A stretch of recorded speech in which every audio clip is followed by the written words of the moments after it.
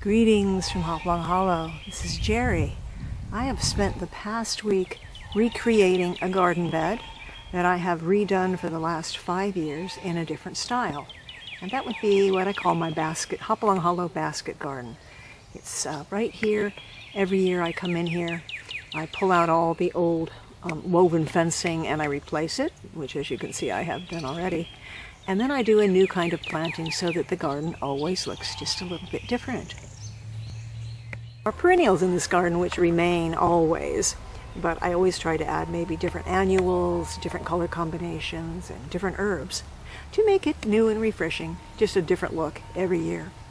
This year I decided to make something a little more permanent, and so we are creating a Beatrix Potter patch. Although it's been interesting changing the style of this garden every single year, I decided I wanted to do something a little more permanent. And the reason I chose Beatrix Potter is because she was, as well as a wonderful illustrator and artist, she was a wonderful and avid gardener.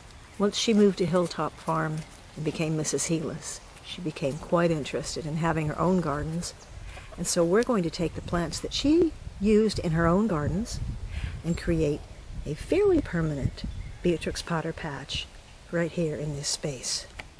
One of the first things I said in the first Hopalong Hollow video I ever made was that Hopalong Hollow is the essence of old world charm. And old world charm is exactly what we want to achieve here in this Beatrix Potter patch. So we want to stay in keeping with the time period of Beatrix Potter. Let's go from 1900s to the 1930s is when her gardens would have been planted and beyond that. And to really get an idea of how to create this particular garden, I do have several videos on it, which I will link below. That will tell you the dimensions of the space, how to weave the wattle, and the fact that you really do want to put it up against either a building, a fence, a wall, or a large trellis. You'll want to place your garden in full sun. And what do I mean by full sun? That's either six hours of sun, which could be morning sun, or it could be three hours of afternoon sun, which is a much, much hotter and brighter sunshine. Nevertheless, whatever you get, morning sun, afternoon sun, or a combination of the two, you will want a nice sunny spot. Now this is going to be a pretty exuberant garden and you can see that I am tightly packing things into this garden. But there's a theme here and the theme is basically an old-fashioned, old-time garden, a cottage garden more or less. I will explain each plant to you, why I'm planting it, and I'm, the colors that I'm using. Now, because Beatrix did beautiful, soft watercolor paintings, I don't want a bright and vibrant garden here. I want it to be stuffed full, indeed, but I want to use the blues, lavenders, pinks, and whites basically in this garden. There'll be very little yellow, and what there is will be a pale yellow. So I definitely want to stick with some beautiful soft colors in this garden, and we are going to use all sorts of things. I'm going to take a little trip back in time, just a few days, as I show you the video clips from what was planted in the garden and how it was planted. If you're a beginner gardener, I think you're going to love the fact that we have used seeds, bedding plants, corms, roots, perennials, annuals, vines, herbs, and roses in this garden. So it's just a little bit of everything in beautiful combinations. Our reference book today is Beatrix Potter's Gardening Life. And in the back of this book, it lists everything that Beatrix Potter grew in her gardens and also all the plants that appeared in the Beatrix Potter books. So although we will not be able to put everything in this garden, we are going to put over a dozen different plants. In this garden, we'll be able to put to use a lot of the things that were planted in the mini greenhouses. Here we have snapdragons, bergamot, also known as bee balm, larkspur, and hollyhocks. We also use blue sage in this garden, pinks, and stock. Now I've obviously got a head start if you're starting from scratch. I'm way ahead of you, but it doesn't matter. This is a garden that because of the fact that it will have a lot of perennials in it, and roses and clematis and annuals, this is a garden that will last for years. So if you're behind on the garden, doesn't matter. This is going to be a lifelong garden. So I have started out with foxglove over here. And I have about 10 foxglove in here because I started them from seed last year in trays and then I watched them grow over the winter in a nursery garden patch and then I transplanted them into this garden. I would say one of the essentials for your garden if you can grow them, is foxglove. I can't think of anything more Beatrix Potter and Jemima Puddle Duck then foxglove. Try to disregard all my barricades because they will be coming up once I get the garden fenced in. But here you can see that the size of these foxgloves is fairly nice right now. They will bloom this year. But do remember that I started them last year. Nevertheless, if you can get the small plants, or if you already have your foxgloves going, go ahead and put them in this garden. This is an enduring garden. This is a lasting garden. It may not bloom, everything may not bloom this year, but it will continue for you next year. Now, another staple for our Beatrix Potter garden, or Mrs. Heelis is what we shall refer to her often throughout this video, are the hollyhocks. Now you may remember in the last video I showed you hollyhock roots. Here is a wonderful reason to start with hollyhock roots. Look at the size of the little hollyhock already. And I just put it in, I just put the root in about four days ago. Now if you grew hollyhocks in your Hopalong Hollow mini greenhouses, then you should be able to transplant those directly into your garden as well.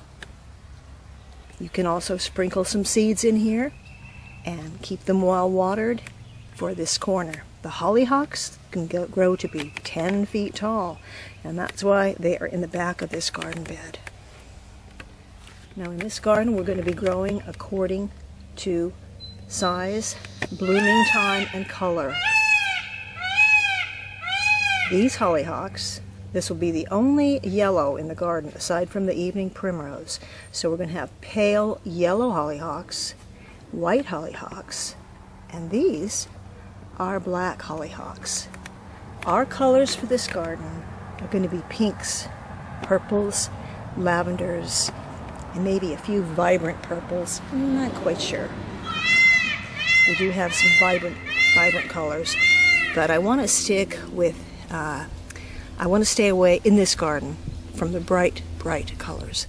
Now here in the back, up against the wall, we're going to do the larkspur. The larkspur, the rocket, this is an annual. I've already taken a few from another garden. right here and transplanted these. But now I'm going to take some of them from our mini greenhouses. And these are going to be about 48 inches tall. And these will bloom in early spring. when I say, I should say early summer, May and June. Larkspur are easy to grow from seed, but you want to sprinkle that seed in the cold months, either the autumn or the winter. In order for your larkspur to succeed, it really needs a period of cold. Because this is so easy to grow right in the garden, I didn't need to put it in the mini greenhouse, but I did want to experiment with it this, this year. But when you're ready to release it, I'm just going to take the entire piece out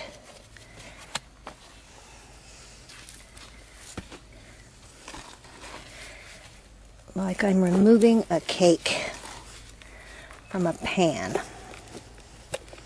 Here I have a nice big chunk of larkspur. And from here I can just split it into parts. There you go. Now I can plant these in chunks in any garden that I want or I can spread them apart even farther. I like them growing pretty closely together, however. So, I'll plant a lot of these right here in the back. The herbs we'll be planting in this garden will be bergamot, also known as bee balm. The bee balm is an herb that absolutely smells wonderful and it grows very, very tall and it does spread and that's what we want right now. We want them to spread but not uncontrollably. It's easy to keep under control and you'll get so much of it that you'll be able to move it to other gardens. So we've already got some growing in there from last year, but I want to add a little bit more from the mini greenhouses. This is going to be planted amongst the larkspur because the larkspur, once it is bloomed, it is going to turn yellow and it dies a rather ugly death. But if we put this in with it, this doesn't bloom till late summer and autumn and this will cover up the ugly stalks of the larkspur. If we want the larkspur to go to seed, that is, we'll leave it up. If not, we can cut it down. But this will be growing amongst it, and this will be our autumn bloomer. This bergamot is a wild bergamot. This the flowers on this one will be a purplish color, and the bergamot that I have growing there already is more of a dark maroon bergamot. Now I'm going to put in some peony roots. I've amended my soil with compost, and that is something you really should do, is make sure that you have got some really good compost in your garden. And I'm going to take my next peony, and I'm going to put it, oh, let's see, I'm just going to lay it right in there like that. Cover it up up to the crown.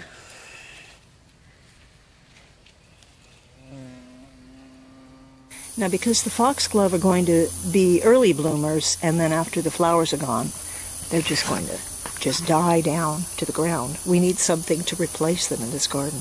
So I'm planting something that I don't think Beatrix Potter, she didn't have it on her list anyway. She probably would have planted though these if she'd had access to them. And this is Liatris. They're very inexpensive corms and they can grow to be five, four, five, even six feet tall. So I want them to take the place of the foxglove in the garden. They're purple, they grow really easily, they love the sun, and they're pretty inexpensive. This is a really nice sized corm. You can see the little root system here. You can see exactly how you plant it. It's going to go right under the surface of the soil and here's one that I had to dig up from another garden because it was in the wrong spot. But you can see that there's just spiky grasses. And they're actually quite fun and delightful if you look at them. Even before they start blooming. And they will bloom for quite some time during the summer. So using my Root Slayer and my beautiful composted soil here, I'm going to dig a nice little hole and place my lovely little root in there, just like so, and just bury it on the surface like so. There. I'll probably put about five of them in this section. Even though this is a flower garden specifically, we're definitely going to put a few vegetables in here. After all, we can't forget about Peter Rabbit. So I put a really simple teepee right there. Just a very simple throw together teepee because it's basically, basically going to be covered up anyway, so I don't want to put a lot of effort into it. And I have put beans in there, and those are broad beans. Beatrix planted broad beans in her garden, or also known as fava beans. And I planted these in trays on March, yeah, March 3rd, I believe. And I've got plenty to go in the garden, so I'm going to only put three. These are going to grow, I'm trying, going to try to keep them in the confines of that teepee. Planted three of them, and these could grow up to six feet tall. So that'll sort of be like an accent plant, but what I want them for is because they produce the most beautiful beans and beautiful blossoms too. Today we have a couple real healthy fava bean plants growing and I just wanted you to take a look at the buds and the blooms I mean because they are so very pretty. They are deep deep purple or almost a black and ivory and they look almost like little violet faces. I also like the color of the foliage because it's more like a grayish green and that'll be a nice contrast amongst all the other plants in the Beatrix Potter patch. Isn't it pretty? Here in this lovely open space right here, I'm going to do a triangle planting of dahlias. And the dahlias that I showed you as roots in the last video, I put most of them in pots. But I decided that since we aren't going to get any more freezes, likely not going to get any more, I'm going to put six of them in this garden straight into the ground. Here are the eyes. And we're going to take this crazy looking guy. Here is the stem. And we're going to put the stem just above the surface and plant it into that beautiful, lovely composted soil. Okay, so I've got a lovely, I've got a nice hole for my dahlia. And I'm going to bury it just right up to where it came out of the ground when it was split up. So you can see right there was where the stem is. I'm going to snug it in there. And just wait and see what happens. Here along the back on the building, I've got a twig trellis backed with goat wire, goat fencing actually, which makes a great trellis. And I'm training a clematis, which is a wonderful perennial vine to grow along the back here. So when some of the flowers stop blooming, and they all will eventually, you want something to take their place, the clematis here this particular clematis is called Angel's Bower. And this will bloom in late summer and it will be covered with tiny little white, lovely scented blossoms. Here in this other garden, you can see a clematis vine. This one is in full bloom right now. So you can see how very beautiful that will be up against the back trellis in our potter patch.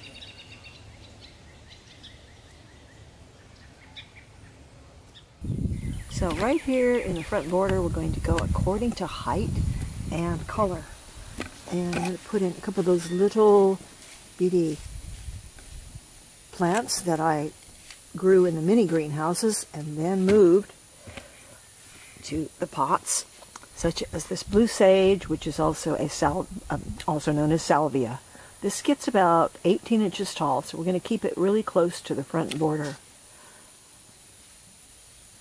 But what I'm doing is I'm working some really nice compost right into the earth and then giving it a nice fluffy composition here because I also want to sprinkle some seeds. I want to, this to be really full. So I will sporadically place the little sage plants or the cottage pinks, whatever I'm putting up here. And then I'll also sprinkle some seed just to make sure we get a nice full covering without the weeds. Now we're going to add some of the cottage pinks that I had growing in the mini greenhouses. And I've already used them in one spot over there. Now, one of the main things you need to remember when you're planting a garden is that you want to repeat things. Repeat your plantings. If you planted um, three dahlias in one spot, go plant three dahlias in another spot, maybe on the other side, because you want some continuity in your garden, and that's one way to get it. Layering is another thing. That just means that you're putting tall plants in the back, medium size in the middle, and the little short ones in the front. So you're making it interesting by layering things and giving your garden different levels. And this whole plan will be on paper, so it'll be easy for you to follow. in the next section of the video. Moved the pinks from the mini greenhouse. They look like they really want to get out of there. Look at the roots. We really should have taken it out a while back. I need to give these a really good soak and I'm going to split them apart just like I did with the salvia and plant them in little chunks like like big brownies into the ground. And then they really need a drink very, very badly. So I think I'll give them a drink first.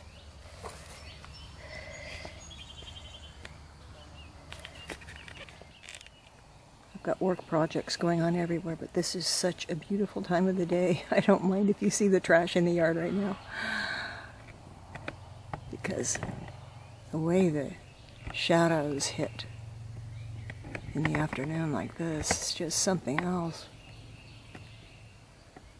Uh, planting a garden is just the most beautiful thing. It's like opening a, a little window into heaven, creating beauty in a little patch of earth.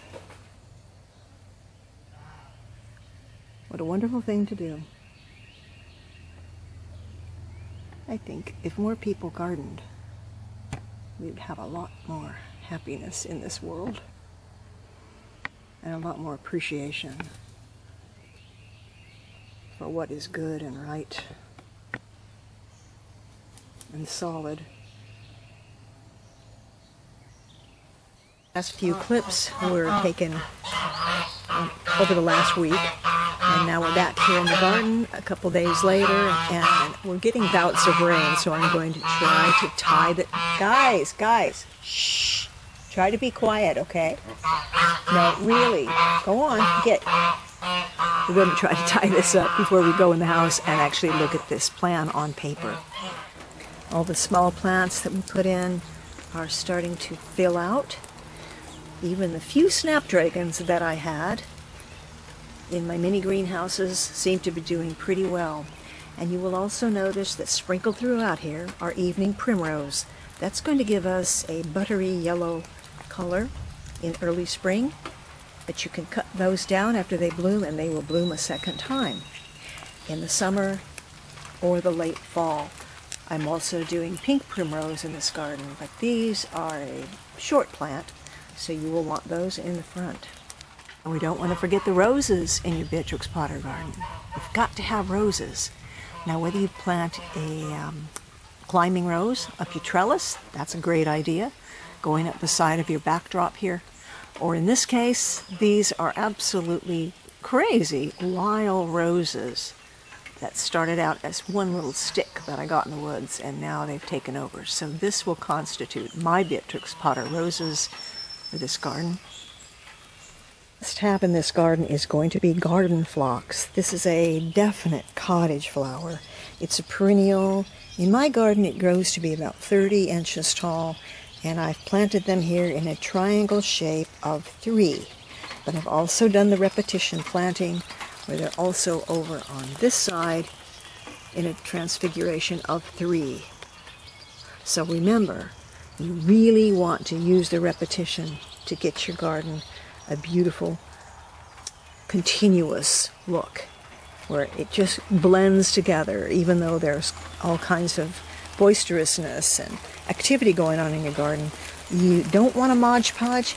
It is a cottage garden, and sometimes a cottage garden is a Mod Podge, but you can make it a lot more artistic if you just follow a few simple rules. Another thing is we don't want any blank spaces in this garden, so take some of your seeds, like your little forget-me-nots, beautiful little forget-me-nots, get some sweet William, something that grows short, and sprinkle those little seeds in the little areas where you don't have anything because we want this to be an abundant and full garden. As you can see, I've got little seedlings coming up already because I sprinkled, I think it was Sweet William, and scented stock in here. Those are fairly short plants, but any kind of pinks, cottage pinks, um, uh, even uh, short uh, cosmos would be beautiful here. Cosmos does come in a dwarf size, and those will bloom all season long. So we just want constant color in our Beatrix Potter garden. And I think as we move along, this will start to be clearly more and more beautiful every day. I hope to be able to get rid of all these barricades very soon, as soon as these plants get a stronger foothold. But one more thing I'd like to say is don't ever underestimate the value of compost. The more you use, the better. I really swear by compost. It is what I plant into. It's what um, you renew your gardens with. You can mulch with it. It looks good. It really does. You can buy it by the bag. You can collect it from a farmer or you can make your own. So don't forget that compost is your garden's very best friend. So I think everything is going along pretty nicely right now. Everything's growing just as it should. And even though I have a head start on you, it doesn't matter. This is a lifetime garden. And every year it'll just get better and better and better. This is just the beginning. Everything here is going to get so much taller and so much more beautiful. Now let's go inside and take a look at this on paper. So here we have a perfect paper garden. Ah, if my real garden grew like this, with everything blooming at the same time, it would absolutely be glorious. But of course, reality tells us that that does not happen. These plants will not all open at the same time, but I thought it would be great to give you a 3D representation of what the garden could look like using the different layers and the different repetition plantings. Miniature garden you can see represented at least a dozen of the plants that you could put in a Beatrix Potter patch. Isn't it sweet? now, as I mentioned before about layering, you want to plant in layers. So you want your short things in the back. It just simply makes sense, doesn't it? Because you want to be able to see these little short plants, and if they're behind something tall, you're never going to see them. So here we have the pinks interesting thing about pinks, which are just little bitty carnations, wonderfully scented, uh, spicy, with a spicy scent, little pinks that will bloom all season long. It's interesting to note that the color pink was actually named after this flower and not the other way around. Pink originally meant to perforate or to um, make a jagged edge, such as pinking shears, for example. But the little flowers of the pinks, the tiny little carnations, they have very jagged little zigzaggy edges. And they grow pretty close to the ground and they have a silvery gray foliage. Now, my colors in here are not necessarily true to life because I just was working with the paper that I had. Now here we have the blue sage salvia, which actually can come in deep purples, deep blues, pale blues, but you want to do the repetition planting. So here we have a little grouping of blue salvia over here, a little grouping on this side, and another little grouping over here on the edge. And note how beautiful they look with each color that I place them with. So if I place them with the pinks, they're absolutely gorgeous. And if I place them with a yellow flower here, which I'm going to say that this is going to be a uh, probably an evening primrose, which is in this garden, or uh, maybe a pale yellow zinnia, which we also want to put in this garden. So the pale yellow zinnias mixed with that blue, contrasting colors, really beautiful together.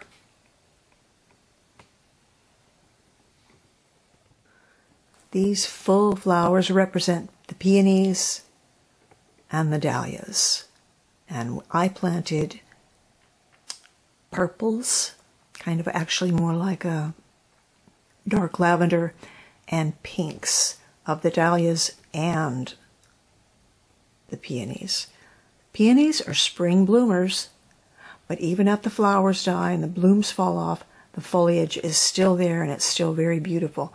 Whereas the dahlias will start blooming in summer and they should keep on blooming all the way through the fall.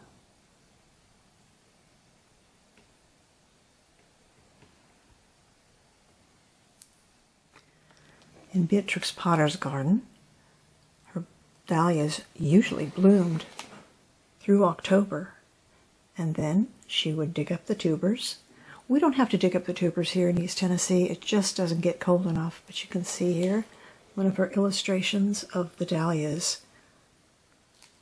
Dahlias actually come in just about every size you can think of, from dinner plate dahlias to the little round pom-pom dahlias. And I actually prefer the smaller ones, and I love the ones that are just the little round balls. And I've got a lot of the tubers, not in this garden. This garden's going to have fairly good sized blooms. And a lot of people don't want to plant them because they think it's kind of a hassle to have to dig them up. But depending on where you live, you don't really have to dig them up if you mulch them heavily at the end of the season and just protect them from the frost. Now, here again we have the phlox, and in this garden I planted blue and pink and I think of pale lavender phlox. And once again we are going to do the repetition. So you've got we've got phlox here, three phlox here, and then we want to go over to the other side, plant another three phlox, and then you've got your repetition and your continuity in the garden. In my gardens, the phlox never gets more than 30 inches tall, so that's sort of a middle of the garden plant, but where you live it might get taller. It's supposed to get 36, 38 inches tall, but generally here it doesn't. In fact, one of the first plants that uh, was given to Beatrix Potter to start her gardens was cottage phlox. Cottage phlox is a perennial. It comes in pinks, whites, purples, lavenders, and blues. Now, according to the plan, the tall plants are in the back. This is layering.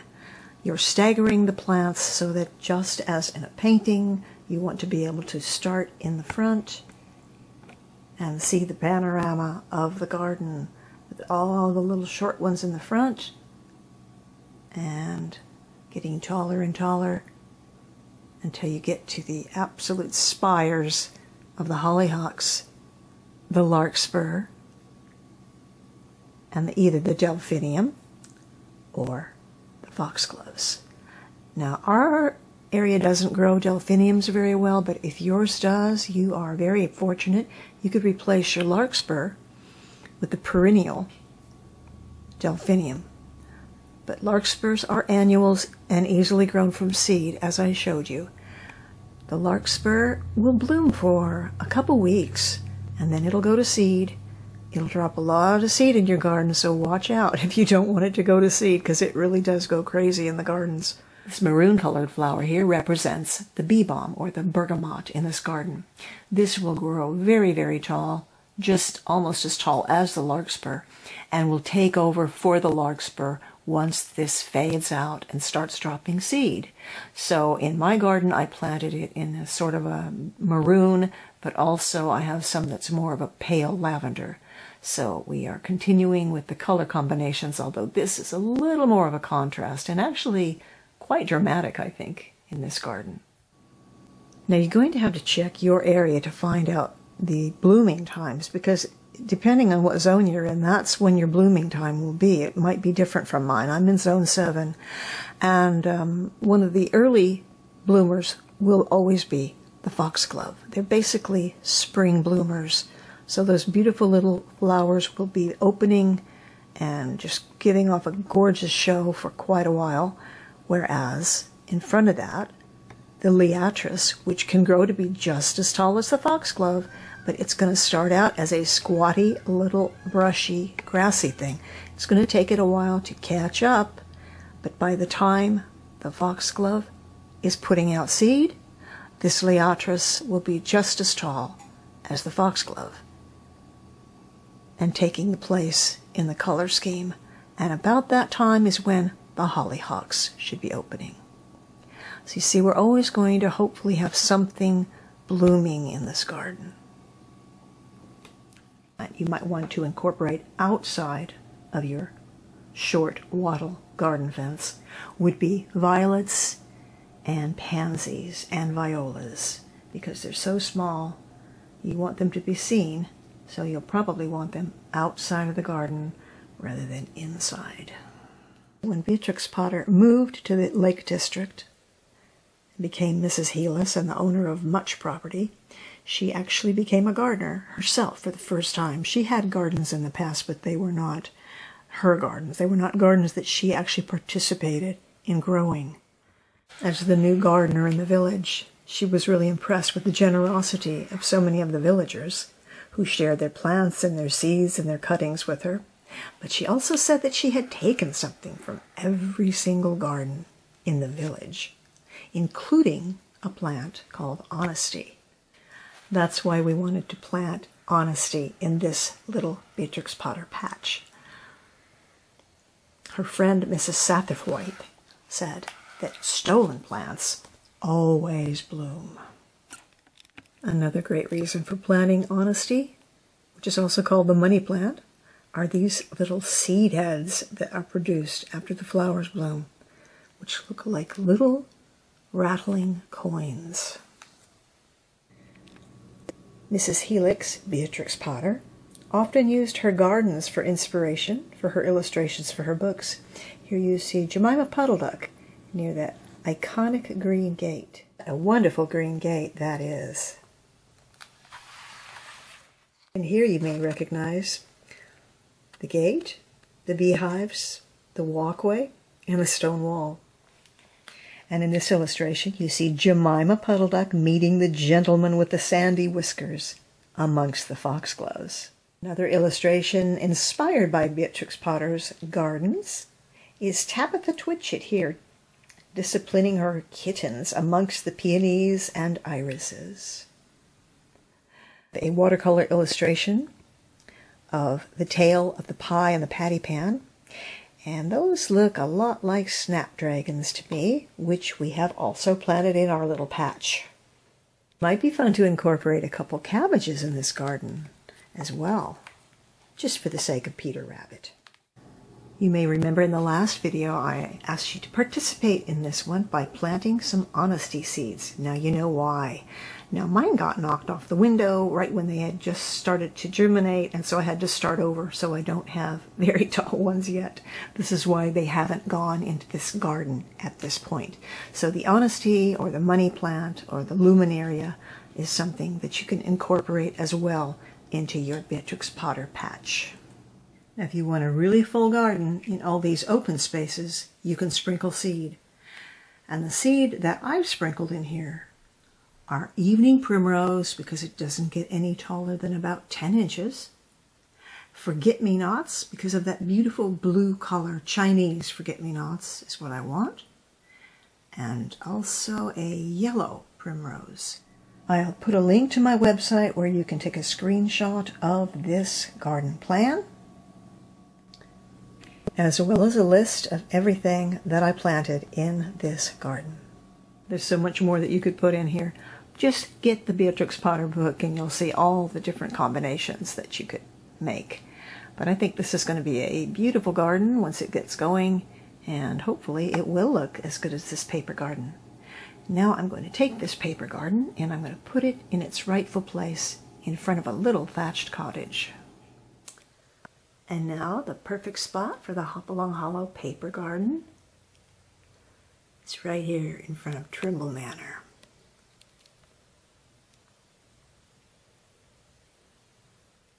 Explain the process of the garden sufficiently so that you could follow it. Otherwise, you can make your own garden plan, obviously, and you might want to purchase that book, Beatrix Potter's Gardening Life by Marta McDowell, because there are so many more things you could plant in this garden. In the meantime, Have a beautiful, beautiful spring. From Hopalong Hollow, this is Jeri. Bye bye.